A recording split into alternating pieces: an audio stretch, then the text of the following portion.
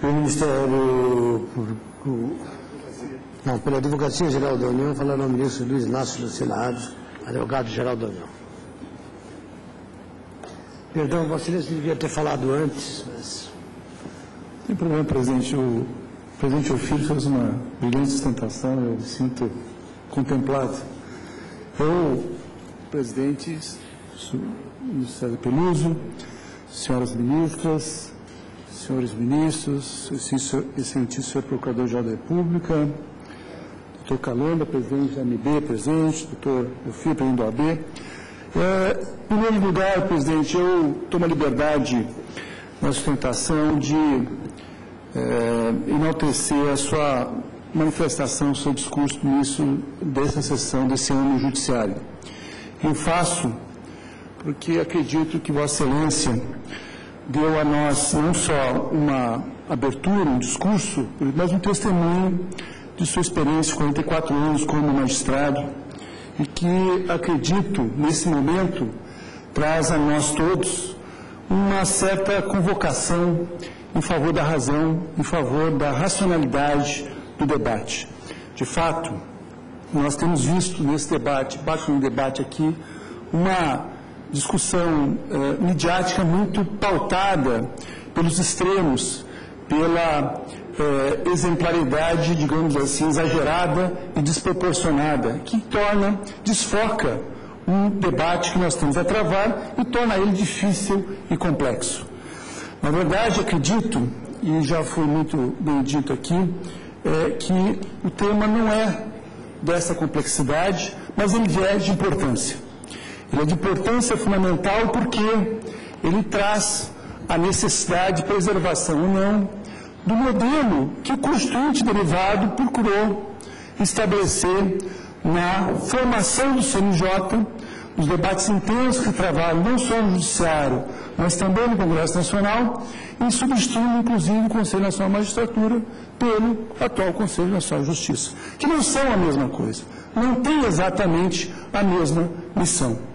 É, os temas tratados na DIN são vários. Eu pretendo limitar-me a dois pontos que eu acredito ser centrais.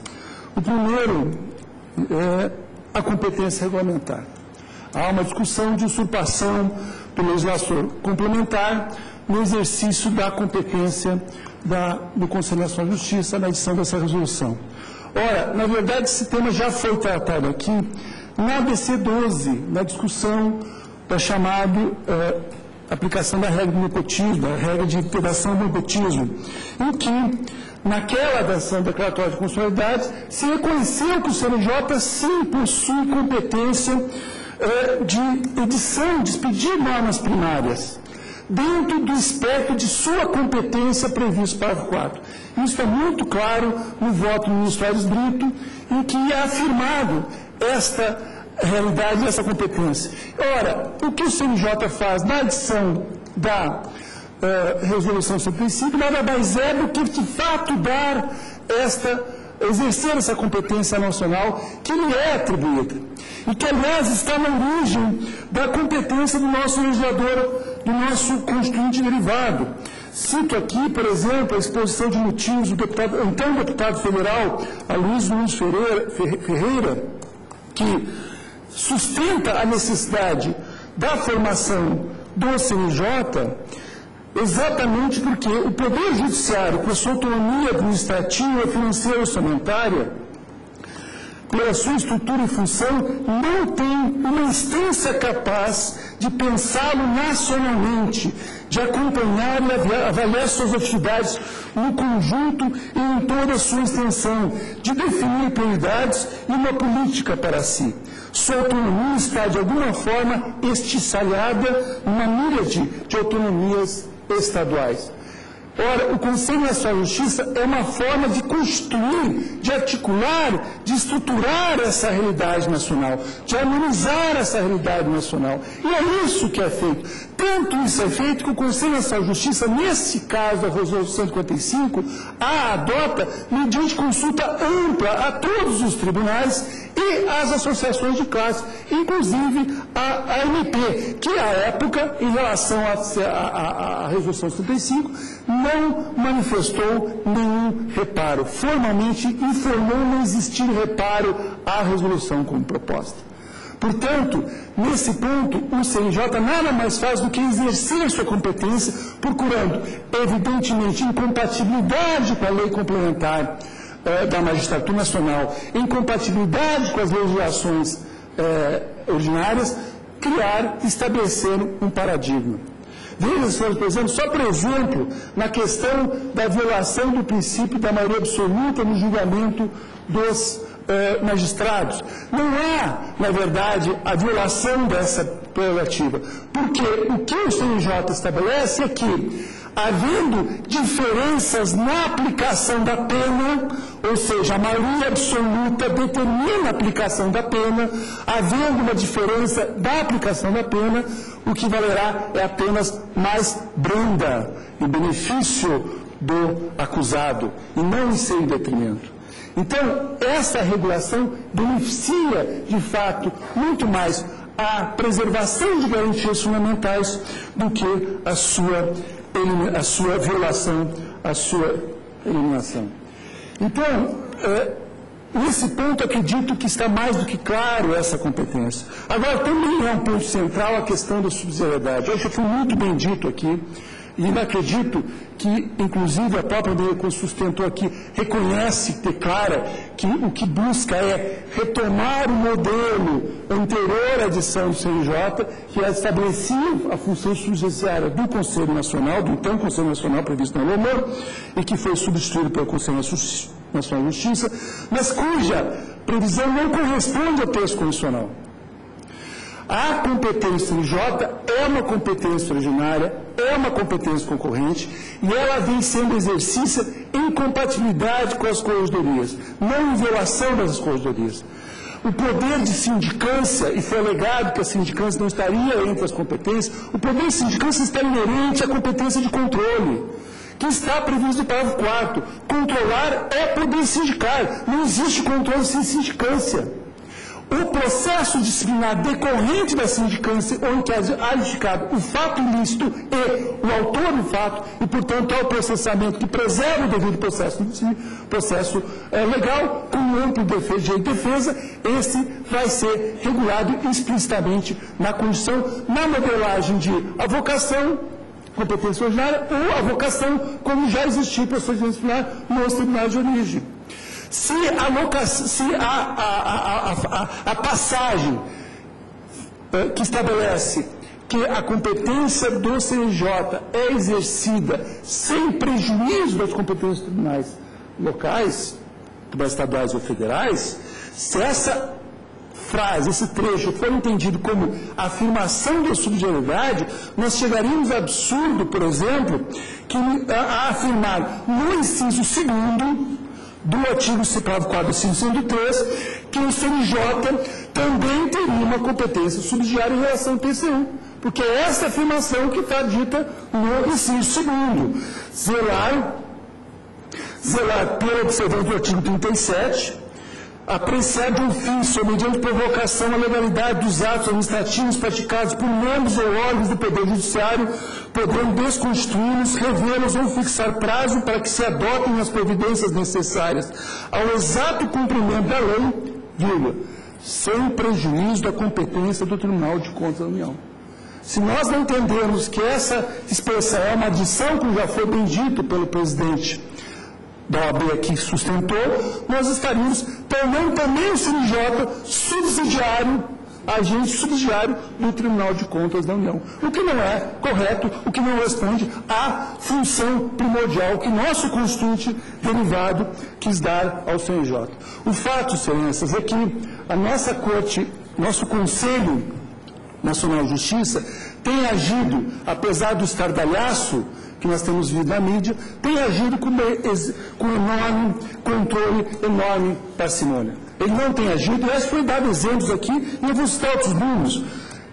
Entre o período de 23 de agosto de 2009 e 23 de agosto de 2010, durante esse ano, o CNJ recebeu 521 representações, 90% das quais foram remetidas para as corredorias estaduais ou federais. Não foram substituídas pelo CNJ. O CNJ tem por prática que quando há um procedimento no tribunal de origem, ele acompanha, mantém uma procedimento de acompanhamento se não, não determinar a sua vocação. O CNJ tem agido nacionalmente em cooperação com os tribunais locais. Existem muitos exemplos nesse sentido, mutirão carcerário, programas de metas do judiciário, mobilização nacional de audiências concentradas em favor das crianças e adolescentes, projeto de mutirão judiciário em dia. São ações de coordenação, de liderança, de organização do Poder Judiciário como um todo em favor da sociedade e da ação, uh, da, em favor da ação dos uh, poderes. O fato é que o Conselho Nacional de Justiça surge, sim, com poder central para o efeito de controle administrativo da atividade jurisdicional. Essa centralidade, ela está estabelecida em vários artigos, seja pelo poder revisional, seja pela vocação, seja pela competência originária própria de conhecer esses procedimentos e processá-los dentro de sua esfera de competência. Agora, ele tem feito, ele tem feito, e isso não pode ser usado contra ele como argumento de afirmação da subsidiariedade, ele tem feito sim com parcimônia, em que de fato, a maioria das reclamações, a maioria dos procedimentos apresentados no CNJ, a grande absoluta maioria, não são tratados diretamente pelo CNJ, mas são tratados em parceria, em eh, colaboração, em apoio às próprias corredorias locais. E isso tem que ser, de fato, valorizado, e é isso que nós queremos ser eh, visto. Eu não posso deixar de referir, já que foi citado, que evidentemente a discussão do chamada é, a situação do COAF em contexto do CNJ é uma matéria que está em outra ação e será devidamente explicada e justificada e esclarecida naquele momento. Agora é fato de que a movimentação atípica, a evolução atípica e imprópria de patrimônio é, na Lei 8429, crime de improbidade administrativa. E o Tribunal de Contas da União, que é o que fato acabou orientando muito desses aspectos da decisão, instrução própria, estabelece que é o dever dos órgãos de controle acompanhar essas movimentações atípicas, porque elas geram, de fato, punibilidade. Agora, essa atuação que lá aconteceu, em nenhum momento identificou nenhum agente, nenhum magistrado nenhum servidor em particular. Apenas numa trabalho de inteligência do COAF indicou um volume de situações que necessitam ser esclarecidas, que não traduzem necessariamente, obrigatoriamente, qualquer violação funcional ou pessoal, mas que é recomendado esclarecimento para efeito desta realidade jurídica que nós temos. Então, nesse ponto, não há, não houve naquela atuação nenhum movimento de é, devassa, como se falou. Agora, de fato, é necessário que haja esclarecimentos em situações, e nesses casos nós temos, e foram apresentar apenas 17 situações no volume que o COAF apresentou. Então, senhores, senhoras ministras, senhores ministros, senhor presidente, agradecendo de novo na verdade, nós tribuna, espera a Advocacia Geral da União a improcedência dessa uh, liminar, a negacia dessa liminar e, eventualmente, improcedência da própria ADIM. Muito obrigado. Pelo Ministério Público Federal, falando do Roberto Monteiro Gugel, Santos, Procurador-Geral da República. Excelentíssimo senhor ministro presidente, excelentíssimas senhoras ministras, excelentíssimos senhores ministros, eminente advogado Geral da União, eminentes magistrados aqui presentes, eminentes advogados, que peço licença para saudar na pessoa do eminente presidente da Ordem dos Advogados do Brasil, doutor Ofia Cavalcante, parlamentares presentes a este plenário. A Procuradoria-Geral, é, preliminarmente, entende que eh, teríamos uma, uma preliminar a enfrentar, eh, tendo em vista que a requerente alega que o diploma questionado, ao dispor sobre uniformização de normas de procedimento administrativo disciplinar de magistrados, teria usurpado a competência privativa dos tribunais e deste Supremo Tribunal Federal, prevista nos artigos 93, caput, 8 e 9 e 96, 1 e 2 da Constituição da República. Ocorre, ministro que, caso declarada a inconstitucionalidade formal da Resolução 135, teríamos a repristinação de norma anterior que a resolução revogou, a Resolução número 30, de 7 de março de 2007, a qual disciplinava a matéria de modo similar. Aliás, confrontando os diplomas, verifica-se que a maior parte dos dispositivos questionados nesta ação possui teor igual ou muito semelhante às normas daquela resolução. Ante a possibilidade dessa repristinação, a partir da declaração de nulidade da norma que a revogou, a sua inclusão no pedido parece é, que seria medida indispensável ao conhecimento nesta parte da presente ação direta de inconstitucionalidade. É o entendimento dessa Suprema Corte, é, por exemplo, no, na ADI 2574, da relatoria do ministro Carlos Veloso, em Sua Excelência diz, no caso de ser declarada a inconstitucionalidade da norma objeto da causa, ter-se-ia a repristinação de preceito anterior com o mesmo vício de inconstitucionalidade. Neste caso, e não impugnada a norma anterior, não é de se conhecer da ação direta de inconstitucionalidade. Dessa forma, parece à Procuradoria-Geral da República que estaria prejudicado o conhecimento da ação no que se refere à tese de inconstitucionalidade formal do diploma questionado, como prejudicadas ficariam eh, as impugnações específicas apresentadas com base nesse fundamento e aquelas referentes a dispositivos que apenas reproduzem normas da Resolução número 30 de 2007. Mas vamos ao mérito, relevantíssimo mérito desta ADI 4638. Inicialmente, destaca a Procuradoria-Geral que a emenda constitucional número 45 de 2004 trouxe, evidentemente, grande inovação na organização constitucional do Poder Judiciário brasileiro, ao criar o Conselho Nacional de Justiça, órgão de composição mista, para exercer um controle externo, sendo ao mesmo tempo integrante da estrutura do Poder Judiciário. Portanto, não se deve, ao ver da Procuradoria-Geral da República, não se deve buscar interpretar a destinação constitucional e as competências do CNJ com os padrões hermenêuticos anteriores à emenda constitucional número 45, como no que diz respeito ao alcance da autonomia dos tribunais. Parece evidente que a emenda reduziu o âmbito de autogoverno dos tribunais, com a introdução do novo órgão em prol do controle administrativo, financeiro e disciplinar mais eficaz. No julgamento da ADI 3367, o eminente presidente César Peluso faz ao mesmo tempo uma constatação e uma observação. Diz Sua Excelência, e aproveito, ministro Peluso, para assinalar, como fizeram os que ocuparam anteriormente a tribuna, para destacar a oração magnífica de Vossa Excelência nesta manhã, oração de quem atualmente chefia o Judiciário Nacional e que somente poderia ser proferida, presidente, a partir de sua trajetória de 44 anos de magistrado exemplar.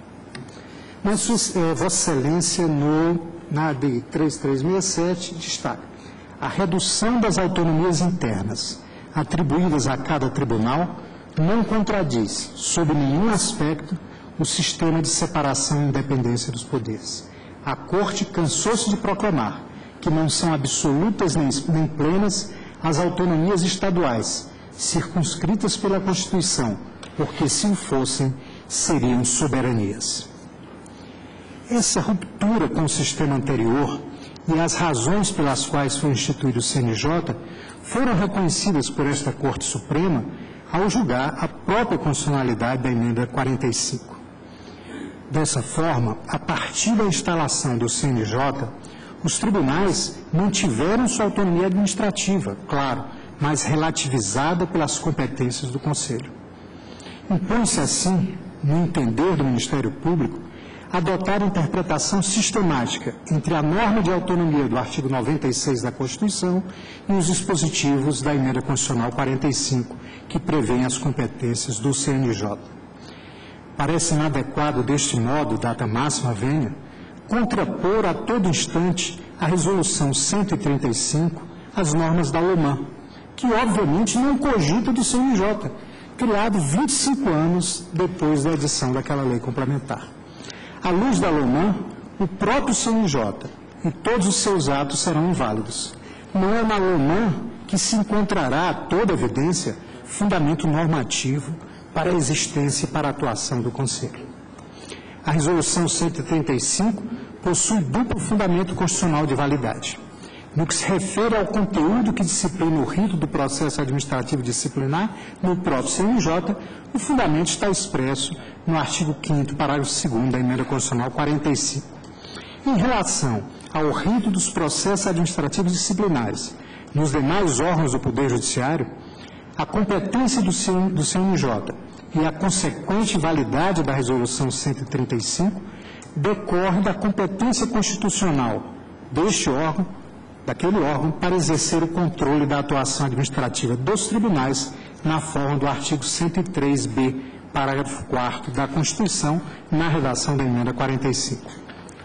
Considerada a premissa de que o Poder Judiciário tem caráter nacional e regime orgânico unitário, segundo afirmou esta própria Suprema Corte, é conveniente do ponto de vista jurídico, administrativo, finalístico e materialmente constitucional a iniciativa do CNJ de uniformizar o processo administrativo disciplinar dos magistrados por meio da Resolução 135.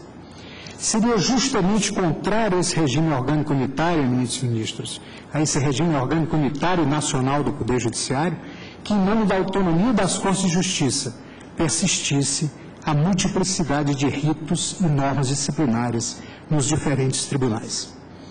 Ainda quanto ao caráter constitucionalmente material da Resolução 135, não se pode esquecer que o plenário deste Supremo Tribunal Federal já afirmou a presença em ato semelhante do CNJ, na ADI número 12, da relatoria do ministro Carlos Brito, dos atributos da generalidade, da impessoalidade e da abstração, com caráter de ato normativo primário e fundamento constitucional direto. Essa natureza das resoluções do CNJ decorrente da interpretação sistemática do artigo 5 parágrafo 2 da emenda 45 e do artigo 103b, parágrafo 4 da Constituição, parece afastar a tese da inconstitucionalidade formal da resolução 135. De um ponto de vista pragmático, não se mostra razoável atribuir ao CNJ, desde a sua instalação, o intento de desprezar, desprezar sistematicamente as competências e a autonomia dos tribunais brasileiros.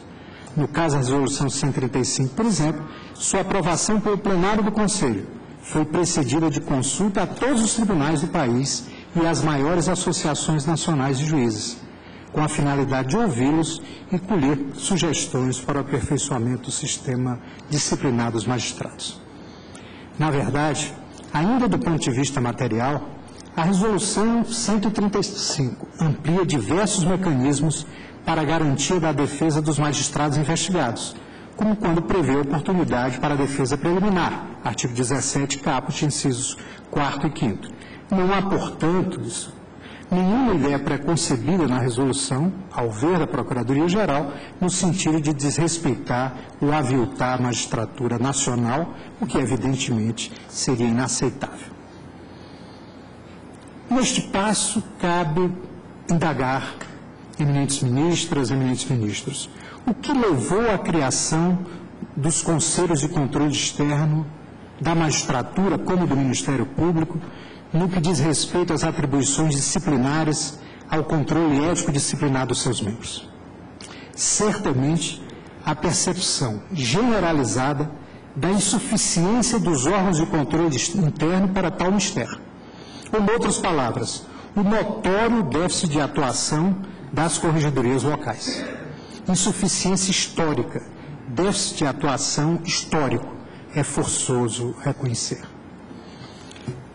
Evidenciou-se ao longo do tempo, como regra, com as exceções de estilo para confirmá-la, a incapacidade das próprias corporações, da magistratura e do Ministério Público, reitere-se, para exercer, exercer adequadamente o poder disciplinar. Em manifestação acerca do tema, a Advocacia Geral da União observou com absoluta procedência.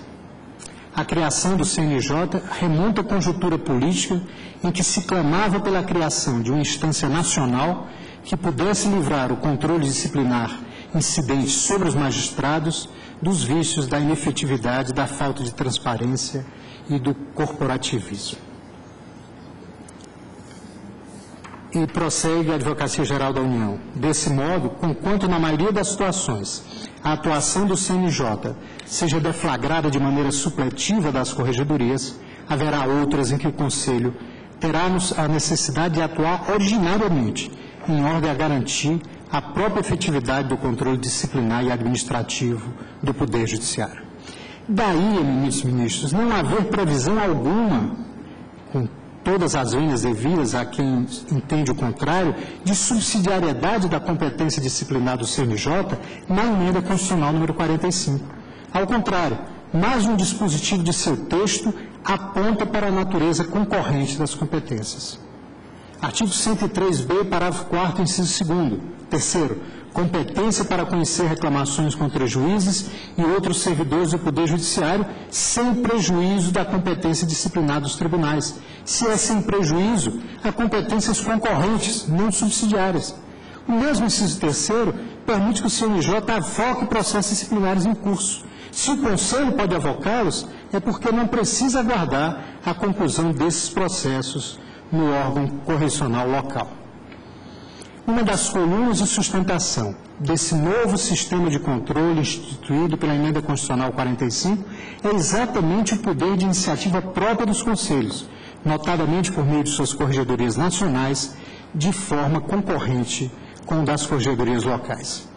Subordinar a atuação do Conselho Nacional de Justiça e, estendo, do Conselho Nacional do Ministério Público, a atuação das corregedorias locais seria ao ver da Procuradoria-Geral da República, incongruente em face da própria razão de existir do órgão e das suas próprias atribuições constitucionais, e debilitaria radicalmente a vontade da Constituição de assegurar, de assegurar controle administrativo, financeiro e disciplinar efetivo.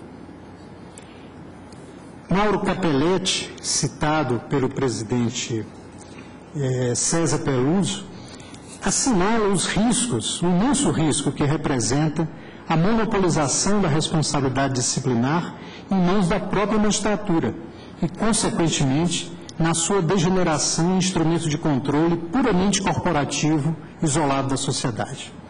O perigo que se defronta é o isolamento da magistratura, a sua transformação em corpo destacado do resto do sistema estatal e da sociedade em geral. Não se prega eminentes ministras, eminentes ministros, claro, que em todas as oportunidades o CNJ substitua a corregedoria local. Haverá, entretanto, casos em que, se tal não ocorrer, o controle disciplinar será nenhum. E o excelentíssimo advogado-geral da União aqui destacou que um percentual imenso das reclamações disciplinares que chegam ao CNJ são prontamente encaminhadas às corregedorias locais. Com estas considerações, não vislumbrando, senhor presidente, a presença dos requisitos autorizadores da, da cautelar, manifesta-se a Procuradoria-Geral da República pela não confirmação, pelo não referendo da decisão do eminente relator que deferiu a medida. Muito obrigado a você. Suspende a sessão por 20 minutos.